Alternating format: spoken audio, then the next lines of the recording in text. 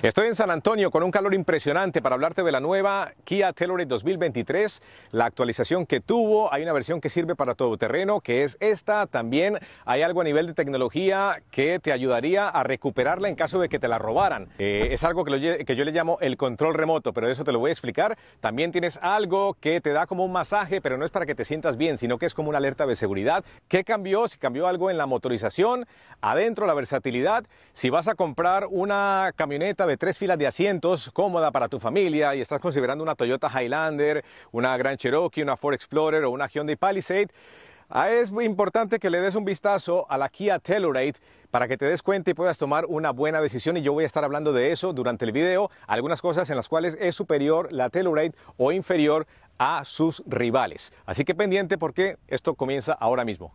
Esta parrilla frontal que fue actualizada, pues vemos una serie de figuras geométricas, hay funcionalidad eh, obviamente, también tenemos su cámara frontal, la nariz de tigre que le llaman a la parrilla, digamos de cariño, a la parrilla frontal de varios vehículos de Kia, aquí ha crecido un poco más, es un poco más prominente, con más carácter, más abajo me gusta mucho lo que es el tono eh, metálico, eh, abajo también tenemos el mismo tono plateado, no es que sea metal, es simplemente el color, es, es plástico, pero bueno, vemos su funcionalidad acá, también acá un poco más arriba y toda la parrilla me parece que tiene una apariencia eh, de rudeza, porque con este modelo que es el X Pro, que es el nuevo, eh, no solamente hicieron cambios para adecuarlo más Para una práctica todoterreno moderado, sino que también tuviera ese look un poco, de, un poco más rudo, un poco más áspero y creo que lo han logrado. Ahí hay una de las diferencias con respecto a la Palisade, que la gente me pregunta, bueno, ¿cuál es la diferencia? Yo la Palisade la veo un poco más refinada, con un poco de más sofisticación. Esta es una camioneta que se ve muy bien, digamos a nivel de diseño, pero un poco más de combate. Los faros delanteros, si lo recuerdan, en la otra Telluride eran diferentes, tenías la luz de circulación diurna en color ámbar, ahora lo han cambiado, ya no está así, tienes un poco de ámbar acá al, costado, pero eh, vienen de serie con tecnología LED, eso es algo importante, eh, tienes faros de proyección LED, eh, abajo tienen una, un aplique acá, digamos de este color como plomo, pero no es nada funcional también. Algo para corregir, un poco de funcionalidad acá, algún tipo de túnel eh, para apoyar la parte aerodinámica, pero pues lo han dejado así nomás. Tenemos las molduras de los arcos en plástico acá. Bueno, ustedes me dirán cómo les gusta más. A mí yo creo que la preferiría, digamos, en el color de la pintura. Sin embargo, como les he dicho, como esta es una versión eh, un poco más agresiva, y ya les explico la parte de agresiva que viene con el modelo X Pro, pues las tienes en color negro, este plástico de color negro, dime ahí si te gusta más o preferirías todo de un mismo color con el color de la carrocería. Tenemos los aros de 18 pulgadas, esto es para la versión X Pro, más adecuada para el todoterreno, llantas eh, Continental también, llantas todoterreno. Las medidas son 245 eh, de milímetros de ancho, tenemos 60 de perfil, espejos con el mismo color de la carrocería, la luz direccional integrada ahí, un poco de negro brillante. Más acá, acá tenemos una hendidura también que ha sido incorporada dentro de esta actualización para el 2023, una hendidura, una línea una de, de expresión y el perfil lo sigue manteniendo así rectangular como estilo de SUV tradicional. También te quiero hablar del control remoto de la Kia Telluride que puede ayudar a que si te roban la camioneta, ojalá que no, Dios quiera que no, la puedas encontrar más rápido y tiene que ver con una función que yo le llamo el control remoto y te lo voy a explicar a continuación, pero primero, eh, si no le has dado like a este video, te pido que le des like, no te cuesta nada, yo te lo agradezco mucho y así ayudamos a que las personas que están buscando una Kia Telluride o una camioneta de tres filas de asientos tengan una referencia para que puedan tomar una buena decisión de compra, así que regálame un like por favor y muchas gracias. Atrás también fueron actualizados los faros traseros, que a mí me gustan los faros traseros de la Telluride. Creo que tienen un buen diseño, esta integración acá, que es tipo cascada. Y miren hasta dónde bajaron las luces, todo es como con una continuidad. Hay una armonía en sí en cuanto al diseño de, las luces. Otra vez tenemos la combinación de varios colores acá, color tono metálico, desde este, el paragolpes trasero. Me hubiera gustado que aquí tenemos los eh, escapes pero yo no sé, yo los prefiero uno a cada lado. Díganme ahí cómo los preferirías tú en sí al, nivel de los escapes, o sea, uno a cada lado o acá arrinconados solamente eh, al, costado derecho, donde los tiene la Kia Telluride. Acá otra vez, prominente, sobresale el nuevo logo de Kia. Telluride, si mal no recuerdo, la palabra Telluride la tenían en la tapa del motor, en el capot anteriormente. Han decidido eh, quitarla de allá, ya no está más la palabra Telluride ah, sobre el capó, lo tenemos acá en la parte trasera. Telluride se ve muy bien, contrasta muy bien con el mismo color del logo, se ve bonita esta parte. Y X Pro, que es el nuevo modelo, eh, uno de los más costosos, quizá el más costoso de la línea. El X Pro es el modelo nuevo que agrega la Telluride, que es el que tiene más capacidad todoterreno. terreno. Ojo que más adelante te voy a estar hablando eh, voy a estar eh, haciendo ejercicios de todo terreno con esto y te voy a contar mi impresión al manejarla en terrenos accidentados. Vamos a ver, abrirlo. También lo puedes abrir con la llave y examinemos un poco de lo que es la versatilidad de esta eh, Kia Telluride tenemos la tercera fila de asientos. Sobre la tercera fila de asientos hay algo que es mejor aquí sobre la eh, Toyota Highlander, eso te lo voy a explicar más adelante, porque es una de las principales eh, de competencia principal de la Telluride, la Highlander. Así que si estás considerando la Toyota Highlander, ojo con esta Telluride en algo específicamente que tiene que ver con la tercera fila de asientos. Jalamos este cintillo y ahí tienes tu versatilidad. Pero bueno, volvemos a colocarla en posición y el espacio que tienes acá es un espacio digamos eh, adecuado, un par de maletas, ahí te puedes imaginar, eh, digamos la, referencia para las compras del mercado, vas al aeropuerto, ahí perfectamente te cabe. Eh, ah, aquí tenemos un protector, mira, bien escondido el protector digamos de la, de la carga que después lo puedes enganchar allá. Los asientos de la tercera fila los puedes abatir o doblar de forma manual, sin embargo acá tienes dos botones de conveniencia para los asientos de la segunda fila para doblarlos, el de la izquierda y el de la derecha. Oprimes el de la izquierda y responde rápidamente el comando y oprimes el de la derecha y ahí tienes toda una zona, mucha más versatilidad, mucho más espacio de carga. Más adelante te voy a hablar de una función que es de seguridad que solamente la tiene este Kia y que te da un empujoncito te voy a explicar porque está bastante curiosa y llamativa y solamente la tiene la Kia Telluride. El ruido de la cabina se percibe un poco más debido a que pues, las llantas son llantas específicas para todoterreno, son esos eh, rines de 18 pulgadas pero en las versiones, digamos, más lujosas, por decirlo así, donde tienes otro tipo de llanta, no se percibe tanto. Sin embargo, no es que sea algo que interrumpa una conversación, la puedes tener. Y yo creo que aquí, a nivel del audio, te vas a dar cuenta de que no hay, digamos, un ruido de cabina eh, demasiado alto. Vamos a darle entonces ahora un vistazo a ese motor para contarte qué es lo que ha pasado con el motor en la Kia Telluride. ¿Ha cambiado o no ha cambiado? Esto está caliente, pero bueno, los soportes ahí con amortiguación automático no son de varilla.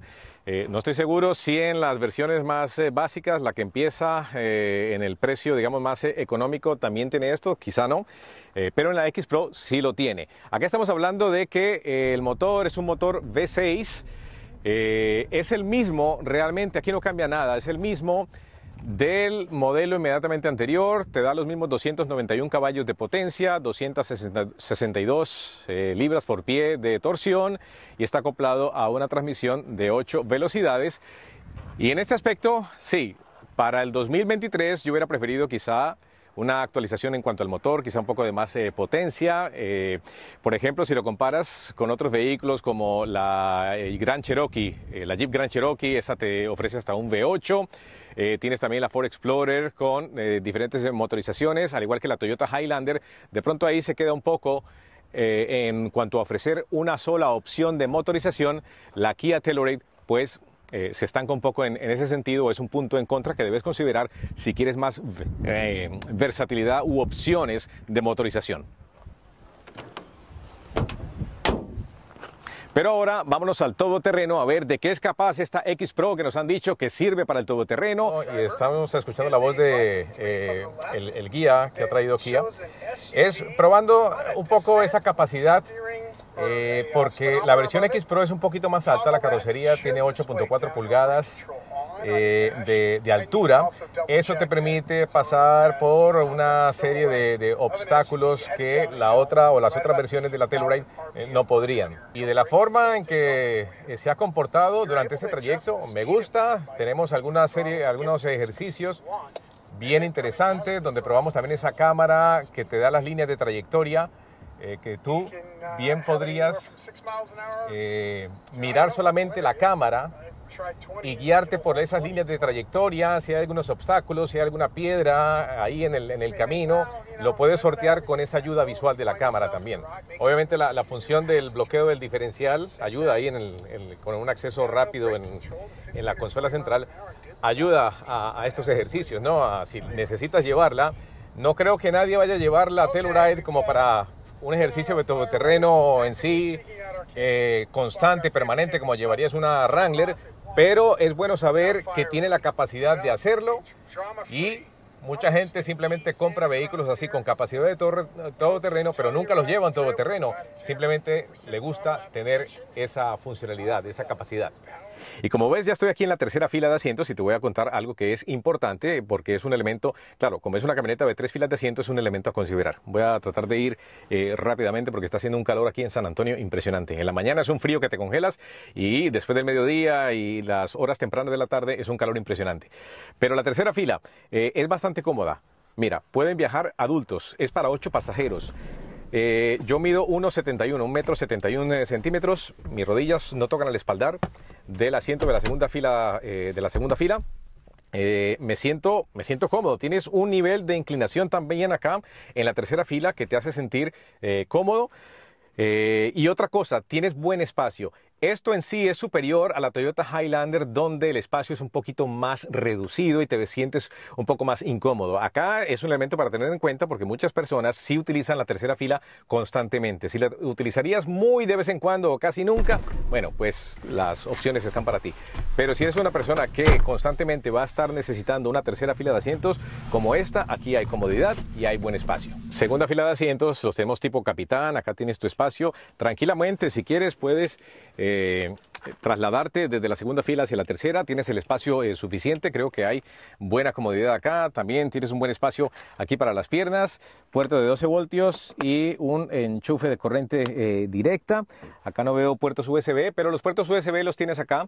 El puerto USB-C los tienes acá en el espaldar o al costado del espaldar de la primera fila, que es algo que encuentro conveniente. Y un tema de refinamiento acá, un protector solar muy conveniente, sobre todo aquí en San Antonio. Eh, si tengo la cara un poco brillante por el sudor, me disculpan, pero es que sí, está haciendo mucho calor. ¿Cuál es el control remoto? El control remoto en sí es una aplicación que se llama Kia Connect. Kia Connect te permite hacer, eh, descarga la aplicación en tu teléfono y, por ejemplo, es algo que te ayuda en caso de que te roban el vehículo. Si te roban el vehículo, puedes eh, detectar la posición, la ubicación del vehículo exacta y trabajando en conjunto con las autoridades pueden ver exactamente dónde está el vehículo, dónde está localizado y esto pues ayuda obviamente a su recuperación. Esa es una función. También puedes bloquear, desbloquear el vehículo. Otra función. También puedes controlar la climatización, subir o bajar la temperatura del vehículo de forma remota. Todas esas cosas y el encendido obviamente. Eh, todas esas cosas la puedes hacer con esta aplicación Kia Connect, la cual yo le llamo el control remoto de tu Kia. Así que un dato importante y bastante conveniente. Y aquí en esta parte del interior, lo nuevo que vas a encontrar en esta Kia Telluride es un panel de instrumentación o un clúster nuevo, totalmente digital. La personalización de las gráficas muy buena, buena definición. Cada vez que cambias de manejo, de modo de manejo, se cambia el color, cambian algunas animaciones y se ve bastante bien. Eh, la pantalla de infoentretenimiento, esa se mantiene igual, pero sigue, digamos, esa continuidad, como un puente eh, continuo entre el panel de instrumentación, el clúster, y la pantalla de infoentretenimiento y navegación, eh, como con una orientación hacia el conductor o dirigida hacia el conductor, que es algo que se ve bien acá. La dirección también es otra de las cosas nuevas que vas a encontrar en esta Kia Telluride. La dirección es nueva, dirección de cuatro aspas, con sus controles de audio a la izquierda, también del teléfono y los controles para el control de velocidad tipo crucero a tu derecha.